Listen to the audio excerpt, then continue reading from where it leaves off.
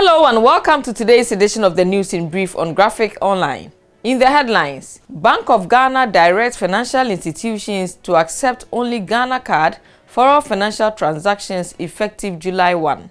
Roads Minister pursues staff awarding road contracts to themselves. MMDA is charged to intensify education on Operation Clean Your Frontage. And four persons dead and 39 injured in Kintampo Techiman accident.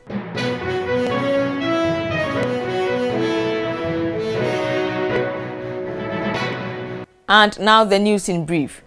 With effect from July 1, 2022, the Ghana card will be the only identification card for all transactions at financial institutions in the country.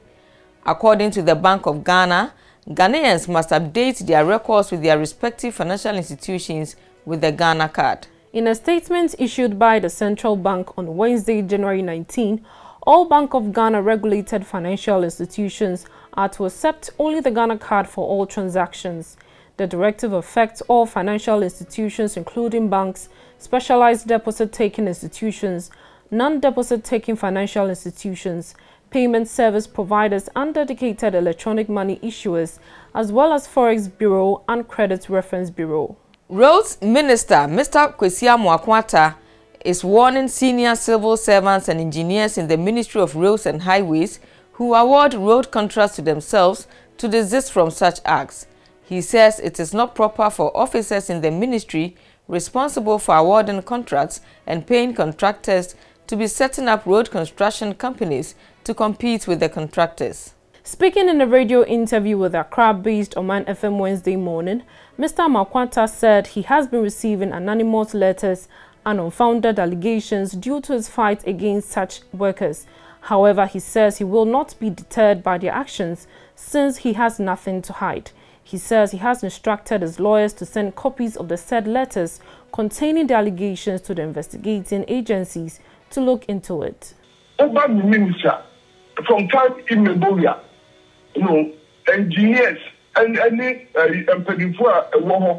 they have their own companies, they have established their own companies no na wɔn yɛ nnwuma adwuma wɔn ho. Mopa momfrɛ leading contractors a ɛwɔ ghana nyinaa na. Momsa wɔn sɛ if they are not aware of this ɛna wɔn ne contractors ɛ compete for nnwuma no how can you belong to a ministry?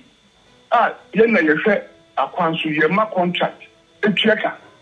Na some of yɛn nkurɔfoɔ no a some of yɛn nkurɔfoɔ no a wɔn a wɔ companies.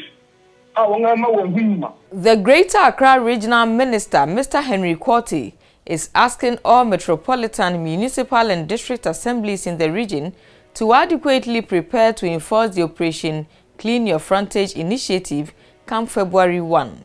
He wants them to intensify education one week ahead of the deadline on February 1 by involving workers and national service personnel in the education drive.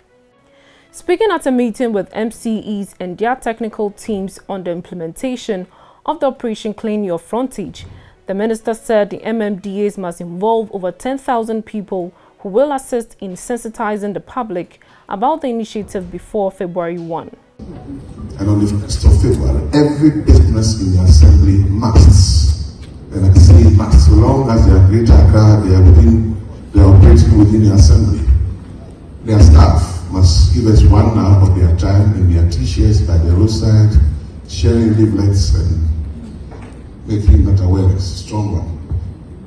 So all stakeholders have been invited to this meeting. The truck road drivers, the queen mothers, the carriers, everybody. Um, a week before the 1st of February.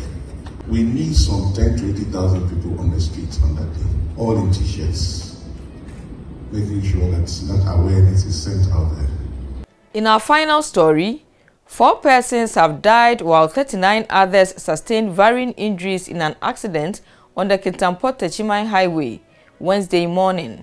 The accident occurred when a Kumasi-bound Kia Granbird bus from Bolgatanga crashed into a DAF articulated truck from Burkina Faso which had broken down in front of the Tuobodom Senior High School in the Techiman North District. The incident happened at about 3.50 a.m. and the 39 passengers who sustained injuries are battling for their lives at the Techiman Holy Family Hospital. Two of them are said to be in critical condition. The Bono East Regional Director of the National Road Safety Authority, Mr. Emmanuel Ichampon Pari, confirming the incident to Graphic Online, said the driver of the Granbird bus crashed into the rear end of the stationary truck while driving at a high speed. News in Brief was brought to you by Graphic News Plus. Download your Graphic News Plus now and choose your preferred package daily, weekly, monthly, and annually, and access free news on various interest areas as well. Visit us on graphic.com.gh for further information. Graphic News Plus, connecting people through news. Thank you for watching today's edition. Stay safe and protect yourself from COVID 19. For more news, visit graphic.com.gh or log on to Facebook at Daily Graphic and on YouTube at Graphic GH. I'm Ama Echa Amankwa Befi. Subscribe now.